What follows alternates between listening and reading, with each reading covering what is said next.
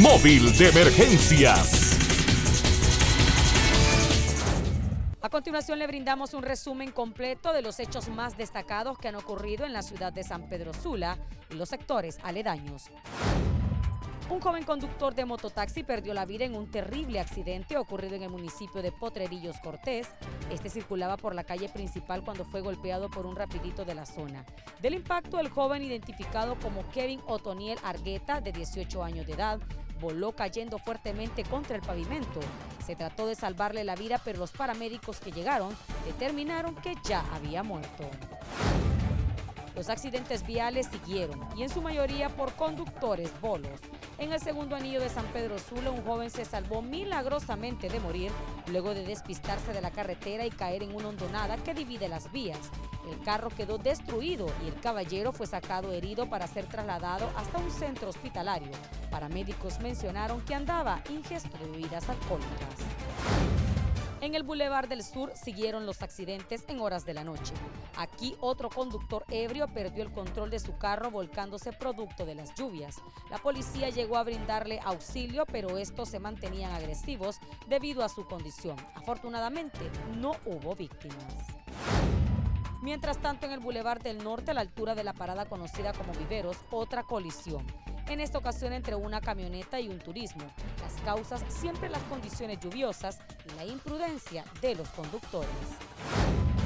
Y es que San Pedro Sula se vio azotada por lluvias un poco fuertes que provocaron correntadas de agua en las calles y los vientos, la caída de árboles como este en el barrio Paz Barahona, del cual varias personas aprovecharon para sacar leña más accidentes. Ahora en la 27 calle, intercepción con el segundo anillo. Una pareja salió herida tras volcarse cuando un vehículo les impactó. Estos fueron trasladados rápidamente a un centro asistencial, ya que la dama se encuentra en estado de gestación y temía que algo le pasara a su criatura. Cabe mencionar que el semáforo está en mal estado, lo que provoca que los accidentes estén volviendo constantes en este punto. Otro hombre en estado de ebriedad se fue a estrellar contra una de las bases del antiguo peaje del norte. Este tuvo que ser sacado del carro por agentes policiales. Afortunadamente, no tuvo heridas de gravedad. En la terminal de buses, un vehículo tipo turismo tomó fuego sacándole tremendo susto a su conductor. Personas que estaban en el lugar le ayudaron para evitar que el fuego se propagara y una familia se desgarró del dolor en la emergencia pediátrica del Hospital Mario Catarino Rivas, acusando a los médicos de haber matado a su bebita de siete meses, ya que ella ingresó por una gripe y repentinamente le dijeron que la iban a operar para luego confirmarles que no tenía nada, pero la pequeña horas después murió. Ahora exigen una investigación para hallar a los culpables. La niña traía diarrea, vómito y la fiebre y un poco cansadita del pecho, era lo único que ella tenía. Y aquí ya me, ya me, me dijeron de que la iban a operar y no me dijeron de qué, me dijeron que firmar un papel, no me dijeron de qué, yo como no, yo andaba perdida en la cabeza, yo firmé el papel, no es no sé de qué, era.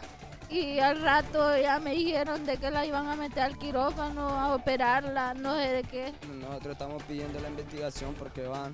A mi hijo me dijeron que la niña me, me le había reventado un organismo por dentro que y cuando me, ya me la metieron al quirófano y me la sacaron del quirófano, me dijeron que la operación había salido ya bien, pero ya cuando me dijeron, nosotros íbamos por el elevador, el doctor, el doctor Flaco Delgado me dijo que me la habían operado y que había salido ya de la operación y que no me le habían encontrado nada, ya que me la habían operado y ya la tenían abierta, lo único que me le habían sacado era el apéndice.